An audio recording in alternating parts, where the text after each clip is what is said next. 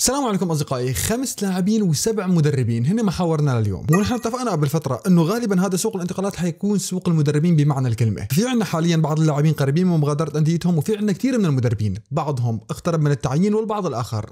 بيحك على صلعته وربما يقال وربما يبقى. لهيك بدون ما اطول عليك مثل ما تعودنا. إذا أول مرة بتشوفني على اليوتيوب اشترك وفعل زر الاشعارات على الكل حتى يوصلك إشعار بكل فيديو جديد بينزل على القناة. تفعيل زر الإشعارات على الكل. انتبه مو فقط فعل زر الاشعارات على الكل. لا تتركه مخصص. وبمناسبه زر الإشعارات حابب أشكركم على شيء وأعتب على شيء. هلا أنا من النوع ما بيطلب لايكات كثير من الآخر وهي الأمور يعني بذكرها بسرعة وبضل ماشي يعني. بس بدي هيك أشكركم على شغلة واللي هي إنه ما شاء الله عندنا كمعدل بالقناة معدل الناس اللي مفعلين زر الإشعارات وتجاوب وتفاعل المشتركين بالقناة هو عملاق جدا بتقييم يوتيوب طبعا.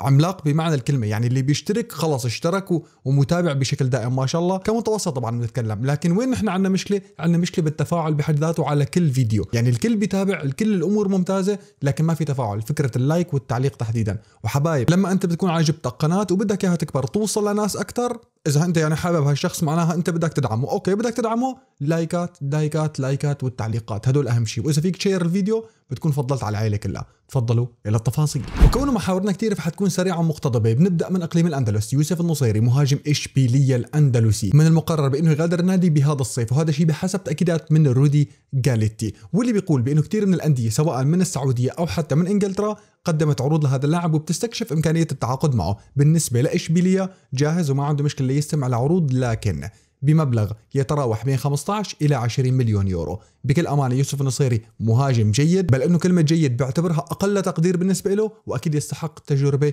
تكون أكثر وأكثر وربما تكون على level أعلى. حطوا لنا رأيكم بالتعليقات وين بتحبوا تشوفوا يوسف النصيري تحديدا مع الموسم الجديد؟ أنا شخصيا بتمنى بكل أمانة يبقى في أوروبا. ما بيهم لكن المهم يبقى في أوروبا. أما محور الثاني فهو تشافي سيمونز. تشافي سيمونز واللي كل فترة وفترة بيرجع يعني فابريزيو رومانو ما عنده غير شغلة. في تغريدة عملها هيك تقريبا ب 15 مايو هو رجع كررها طبعا وكل خمس دقائق بيرجع بيعمل له retweet retweet retweet إعادة تغريدة. شو الفكرة؟ وشو قصة فابريزيو رومانو؟ وشو قصة هذا الموضوع؟ باريس سان جيرمان مصر إنه من الآخر أنا بدي ذلك وذل برشلونة. هيك هيك نظرة آه، باريس. إنه أنا ليك بيع ما حبيعك ومعي ما حتلعب وإعارة حصرا غير إعارة ما بتطلع إما بتضل مع نفس الفريق اللي أنت معه حاليا أو بتطلع إعارة على نادي ثاني لكن برشلونة يفضل لا. يفضل. انتبهوا. هلا وين المشكلة؟ المشكلة إنه بيوضح فابريزيو رومانو إنه القرار بالنهاية للاعب يعني غالبا للاعب هو اللي بقرر النادي اللي حابب ينضم له. كثير من التقارير بإسبانيا بكتالونيا تحديدا بتتكلم بإنه تشافي سيمونز بيرغب بإنه يرجع ويجرب مرة ثانية مع بلاوغرانا برشلونة وإنه يكون الموسم القادم بصفوف النادي الكتالوني. لكن بعضهم عم يشير للصفقة على أساس الشراء بشكل دائم سواء إلى برشلونة أو حتى غير نادي يعني. فابريزيو رومانو بيرجع وبيأكد للمرة المليون إنه لا يمكن باريس سان جيرمان يستغنى عن اللاعب. غير إعارة لا يمكن أبدا. كل الأخبار اللي بتظهر عنه حاليا أحبائي الكرام هي تقريبا بتقدروا أنتم تفلتروها بكل بساطة وتعرفوا أي خبر بيتعلق أو صيغة بالطريقة اللي طرحناها حاليا فهذا هو الصحيح حاليا. أما بالنسبة لبرشلونة شوفوا نصيحة مني لكم بعد ما يتعين هانز فليك وقتها بنحكي بالصفقات وقتها بنحكي بكذا. كل ما يشاع حاليا هو مجرد كلام صحفي لا أكثر.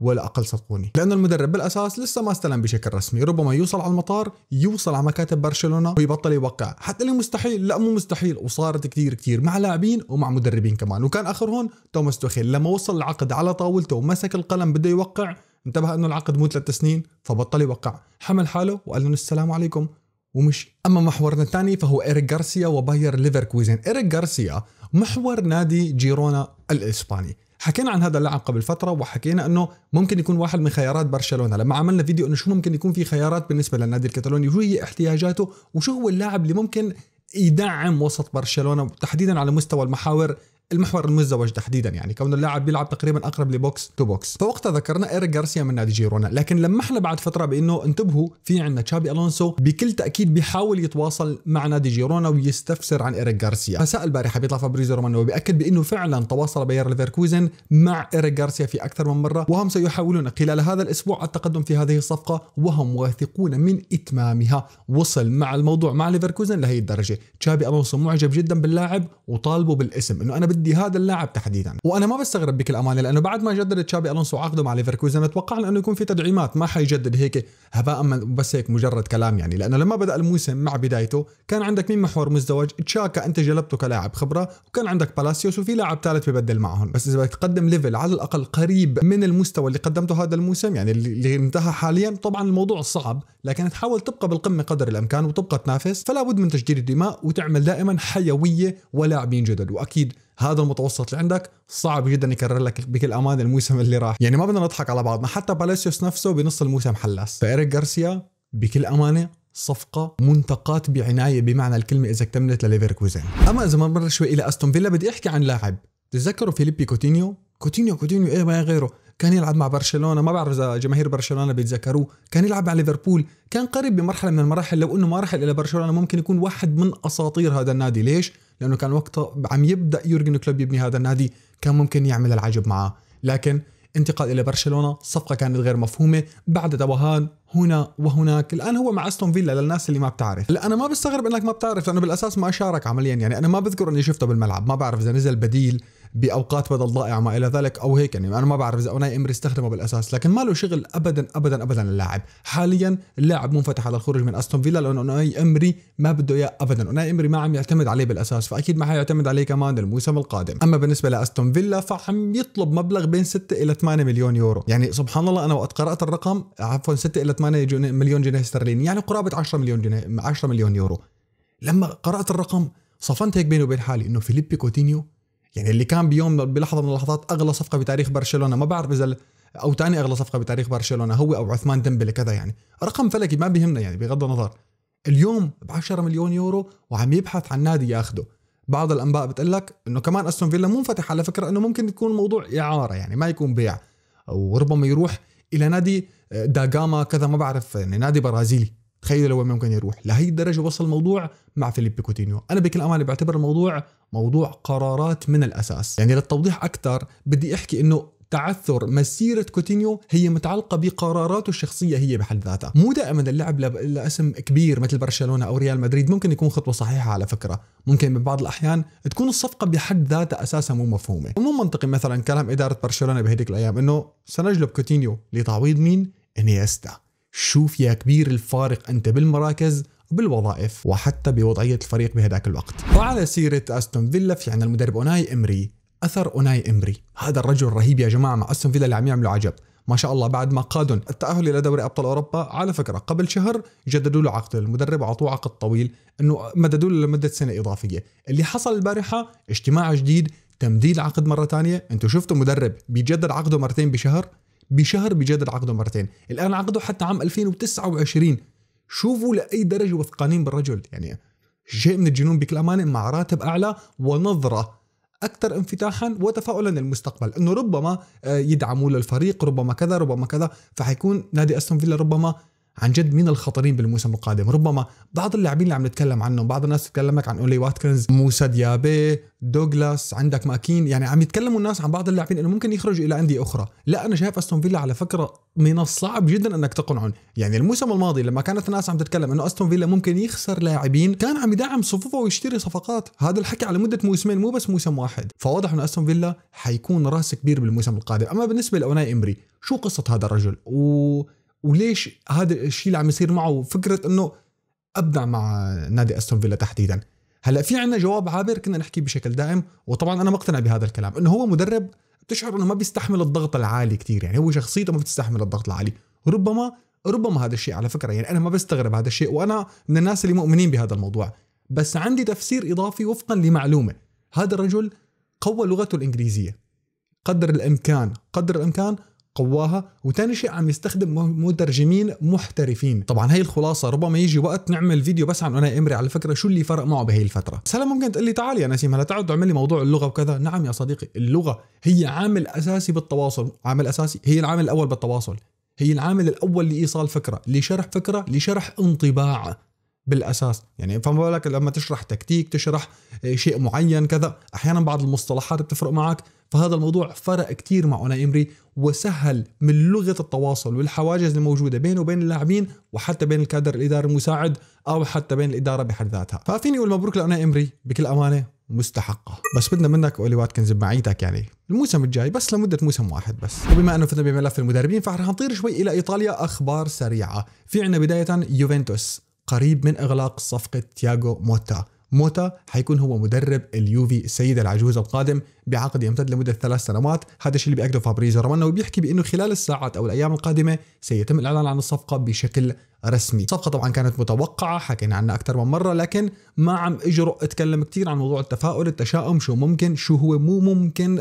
الله أعلم ليش؟ لأنه الموضوع ما بيتعلق فقط بتياجو موتا بيتعلق أيضا بالنادي بحد ذاته. ثقافة النادي مين هن اللاعبين اللي ممكن تدعم فيهم آه يعني أنا صح كنت ألوم ماسيميليانو أليجري بشكل كبير لكن كمان لازم نعطي المدرب حقه ونعطي إنه أخي السكواد مو كامل. يعني آه، مو سكواد يوفنتوس من الآخر. يعني مو سكواد نادي بينافس بالكالتشو. مو سكواد نادي كان مسيطر على إيطاليا برمتها. لكن بتمنى كل التوفيق لموتا مع السيد العجوز. ورح نضل بإيطاليا لكن رح نتكلم عن رجل كتير كتير كتير كتير عشاق السيد العجوز بيحبوه وأنا على رأسهم معشوقي أنطونيو كونتي لكن على أعتاب مين؟ على أعتاب نابولي نابولي واللي اقترب من حسم صفقة تعيين المدرب أنطونيو كونتي كمدرب لنادي دييغو أرماندو مارادونا. صفقة بتخليني أصفن بصراحة ما بدي أحكي انطباعاتي الشخصية وآرائي وعاطفتي وما إلى ذلك لكن ما كنت بتمناها تتم. يعني أنا بحكي لكم إياها هيك من الآخر ما كنت بتمنى تتم لنابولي تحديدا. يعني كونتي لحد الآن بتمنى كنت تشوفه مع نادي يوفنتوس. يرجع على يوفنتوس معلش رجعة ثانية حاول جرب مرة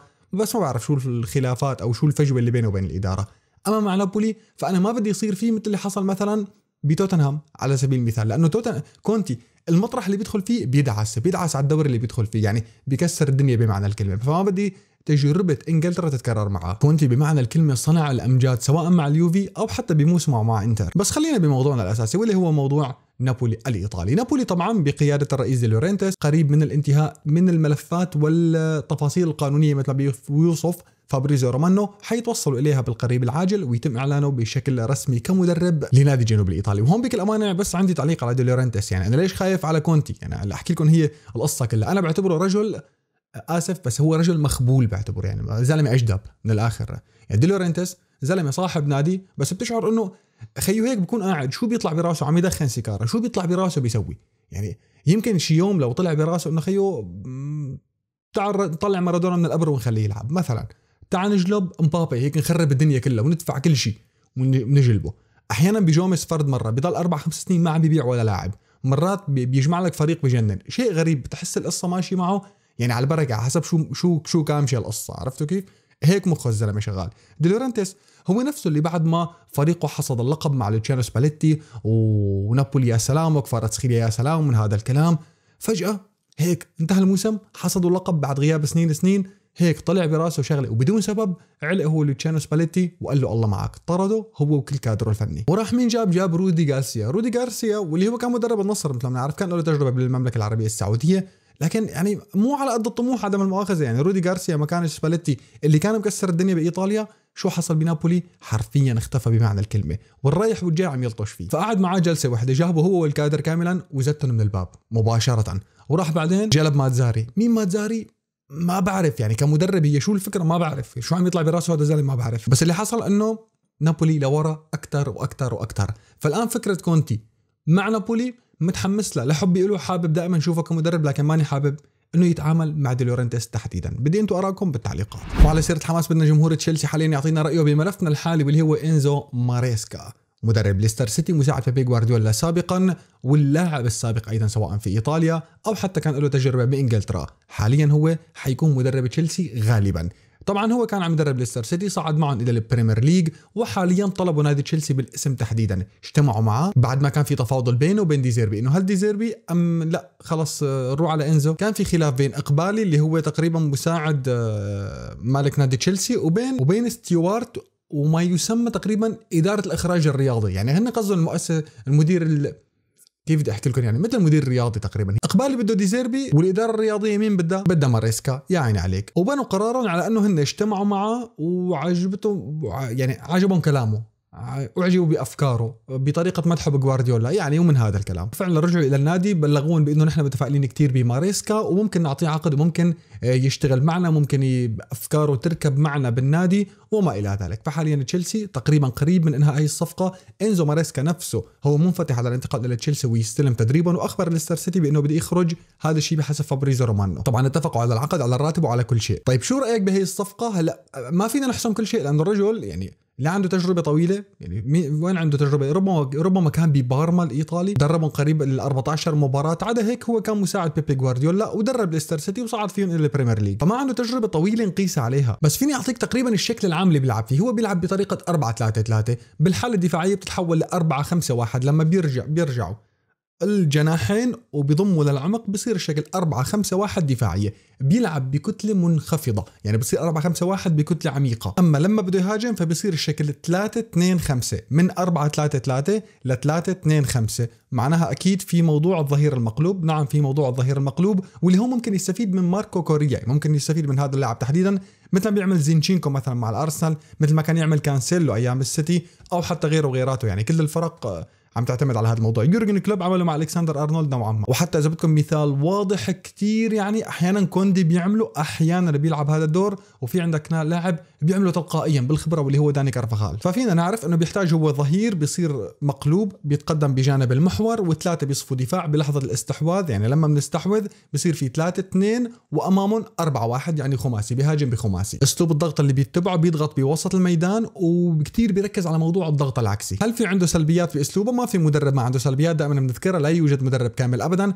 مشكلته بالثغرات اللي عم تظهر معه بالشق الدفاعي تحديدا. يعني دائما ما كان بيتلقى أهداف في طريقة غريبة فريقه. يعني هل هذا شيء ممكن يفرق بين ليستر سيتي وبين آه، تشيلسي؟ الله أعلم هذا الشيء بنعرفه بالمستقبل. عدا اسلوبه الفني اللي هو عن جد مثير وإنه أنت بتتحمس لحتى تشوفه هو اهتمامه بالتفاصيل. يعني يقال عنه وبينكتب عنه إنه هو شخص مهووس بالتفاصيل بيحب يدرس الخصم لساعات طويلة جدا. إنه هذا الموضوع تعلمه بفترته مع بيبي جوارديولا طبعا لا ننسى إنه ماريسكا هو اللي كان مع جوارديولا بالثلاثية يعني رجل عن جد له وزنه كمساعد يعني لأنه بعد ما خرج ميكل أرتيتا بقي هو وكانت الأمور عال عال مع بعض. بس حطوا لنا أنتم آراءكم بالتعليقات شو رأيكم بالموضوع؟ شو رأيكم بالصفقة بشكل عام؟ هل متفائلين فيها أم لا؟ وخلينا نطير شوي مع بعض إلى برشلونة. بنشوف إنه هانز ديتر فليك اليوم حيوصل إلى بلاوغرانا واليوم حيوقع على عقوده. هذا الشيء بحسب كل التقارير وجميع الصحف حتى فابريزو رومانو بياكد بأنه اليوم سيصل هانز ديتر فليك إلى بلاوغرانا برشلونة وحيوقع عقد لمدة ثلاث مواسم. طبعا اتفقوا على كل شيء. بعض التقارير بتحكي لك بأنه راتبه ربما يكون أقل من تشافي هرنانديز. بعض التقارير بتحكي لك بأنه تقريبا هو نفس الراتب.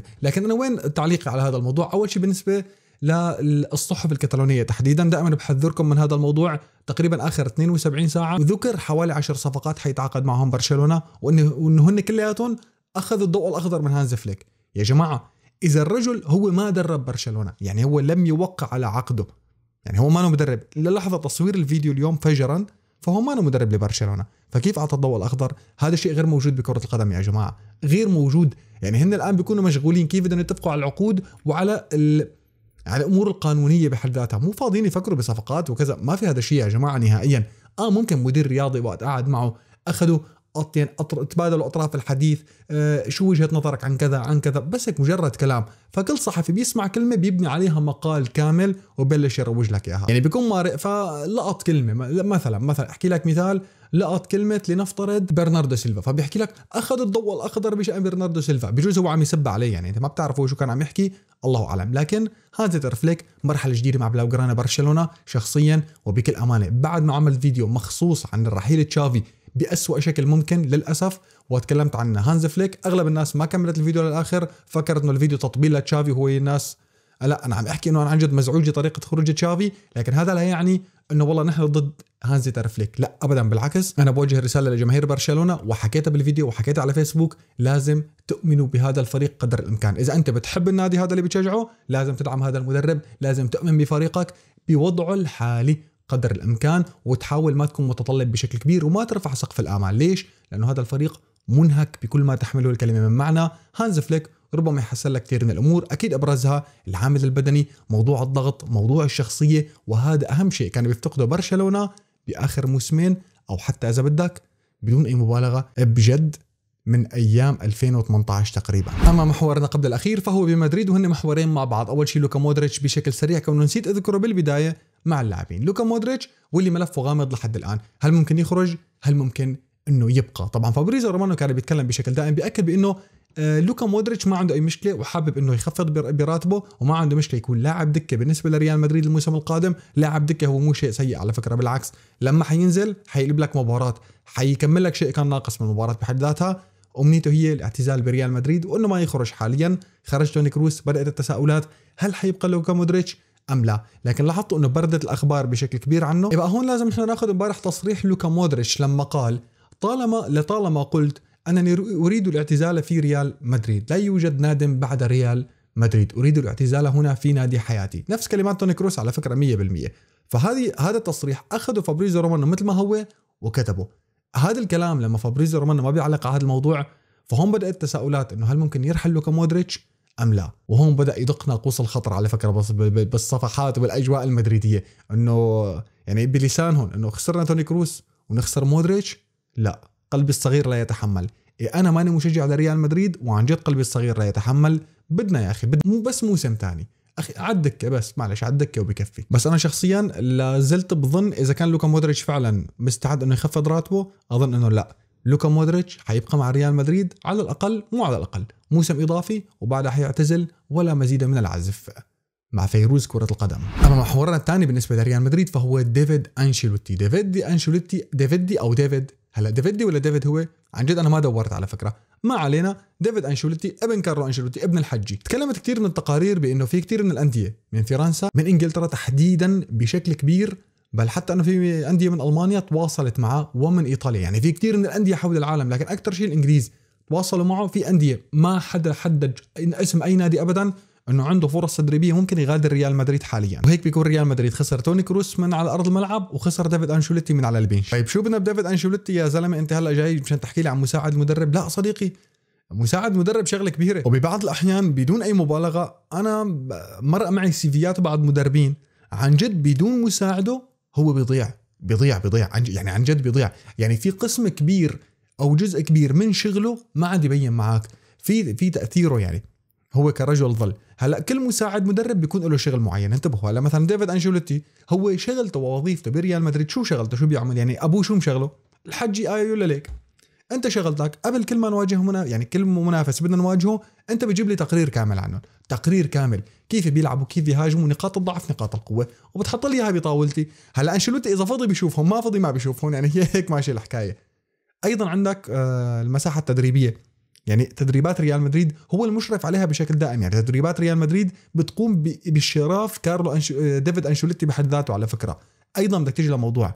نقاط الضعف والقوة أثناء المباراة اللي بيديرها ديفيد أنشيلوتي وليس كارلو أنشيلوتي. وهو بدوره بيخبر أنشيلوتي بيخبر الحجي وهون أنشيلوتي إما بيقرر يعمل التبديلات أو لا يعني وفقا لنظرته النهائية لأنه كارلو أنشيلوتي هو الفصل يعني هو الأول والأخير بالنهاية لأنه هو المدرب هو الخبرة هو الكنز. فلهيك ممكن تفهم مني قديش أهمية ديفيد انشيلوتي بريال مدريد؟ وليش هو رجل؟ إنه ممكن تفرق كثير حسابات ريال مدريد إذا خرج بهذا الموسم لأنه أول سؤال سيطرح من هو مساعد كارلو انشيلوتي بدون مساعد ما في مدرب بدون مساعد على فكرة. يعني لا يوجد ما بيمشي الحال ما بتزبط ما بتمشي الأمور بالأساس.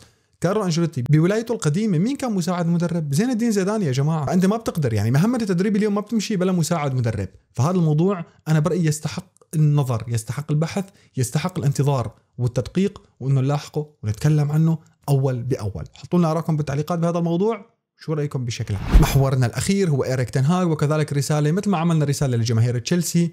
لجماهير آه، برشلونة. الآن رسالة لجماهير مانشستر يونايتد. إيريك تنهاغ رس لا مو رسميا. لا رح يقال ولا حيمشي الزلمة. ما بنعرف شيء لحد الآن. لكن فابريزو رومانو بيأكد بأنه خلال هذا الأسبوع هذا الأسبوع يعني اليوم نحن اليوم الثلاثاء صفي بقي ثلاثة أربعاء خميس جمعة عندهم هن. يعني جمعة بيخلص عندهم جمعة سبت أحد ليوم الأحد تقريبا. ليوم السبت أو الأحد يعني خلال هذا الأسبوع سيحسم ملف إيريك تنهاج إما سيبقى أو سيرحل. الموضوع شو بالنسبة لإيريك تنهاج منفتح تماما. وقالها بلسانه أنا منفتح على الاستمرار. لدي عقد هنا وأنا مستمر مع مانشستر يونايتد. يعني طالما أنه ما أخبروني أني حأرحل فأنا باقي. طيب شو بالنسبة للإدارة؟ وخليني بعدين بعطيكم النصيحة. بالنسبة للإدارة حيجلسوا مع بعض حيناقشوا ويقيموا الوضع بشكل كامل. هون ما في أي تسريبات لا تصدق أي تسريبات بتحصل حاليا. يعني شو هي نظرة الإدارة الرياضية للمستقبل؟ لأنه هي هون المفصل بيكون. يعني هي شو نظرتهم للمستقبل؟ وبعدها حيقرروا. إما بيبقى ايريك تنهاج أو بيرحل وبيبحثوا عن بديل. هل مين في بدلاء؟ حرفيا ما صفي بدلاء ب level عالي. يعني الوحيد اللي صفي تقريبا ديزيربي. ما ما بقي غيره ما بقي ولا واحد يعني. طبعا الإدارة ممثلة بشركة INEOS حاليا أو اللي بدنا نختصرها بكلمة INEOS هن تواصلوا مع عدة مدربين آخرين بحسب فابريزو رومانو مين هن الآخرين؟ علي الحلال ما بعرف يا جماعة. ولا حدا عم يحدد أسماء ولا عم أقدر أوصل حتى. يعني في عندك مثل The Athletic في أكثر من صحفي مقربين جدا من اليونايتد ما عم يذكروا أسماء ابدا. وكأن الموضوع سري بشكل مبالغ فيه. أو عندي ظن بأن الموضوع مهني بحت. يعني إنه ما بدهم يذكروا اسم إنه مو حلوة عندنا مدرب. نحن حاليا بنذكر أي أسماء أخرى. الآن بعد الاجتماع حيقرروا. إما بيبقى إيريك تنهاج أو إنه بيكونوا مثلا ما متفقين على النظرة المستقبلية الرياضية فوقتها بينفصلوا بشكل حبي وعال العال وبعدها بيتواصلوا مع المدرب الجديد والأمور بتكون بداية من الصفر. شو نصيحتك يا نسيم؟ وشو رأيك بهذا الموضوع؟ رأيي لو أنا مدرب لمانشستر لو أنا مشجع لمانشستر يونايتد عفوا شو وجهة نظري بالموضوع؟ أنا حكون راضي عن أي قرار سيتخذ. ابدا. طبعا لا يعني إنه صح أو خطأ. ما بنعرف شو بيحصل بالمستقبل. ليش يا نسيم راضي؟ لا أحكي لك إياها ببساطة. لأنه ابتداء من الموسم القادم هي بداية جديدة مع اليونايتد. جديدة. وركز على هذا الموضوع. الموسم الماضي ما كان في إدارة رياضية ما كان في شيء. اليوم أنت عندك عتاولة على مستوى كرة القدم. يعني عتاولة بالإدارة الرياضية. مو أي ناس هيك شغال هيك سمندح القصة ماشي شلون من كان وعلى الله ويلا لا في ناس حريفة إدارة رياضية عم تشتغل. فإذا كان قرارهم هن إنه يبقى إيريك تنهاج برافو أنا راضي. عم أحكي لو إني مشجع لمانشستر يونايتد. إذا كان هن رؤيتهم الرياضية ما بتتوافق معاه ومشي كمان أنا راضي. ليش؟ لأنه هو مشروع جديد. فسواء مع إيريك تنهاج يعتبر مشروع جديد مع غير إيريك تنهاج أيضا يعتبر مشروع جديد. هاي وجهة نظري الشخصية. ما حزود كلام. أبدا ننتظر حتى القرار النهائي. حطوا لنا أنتم آراءكم بالتعليقات بهذا الموضوع وبجميع المواضيع اللي تكلمنا عنها. لا تنسوا من تفعلكم مثل ما وصيناكم بالبداية. بشوفكم على خير إن شاء الله تعالى. والسلام.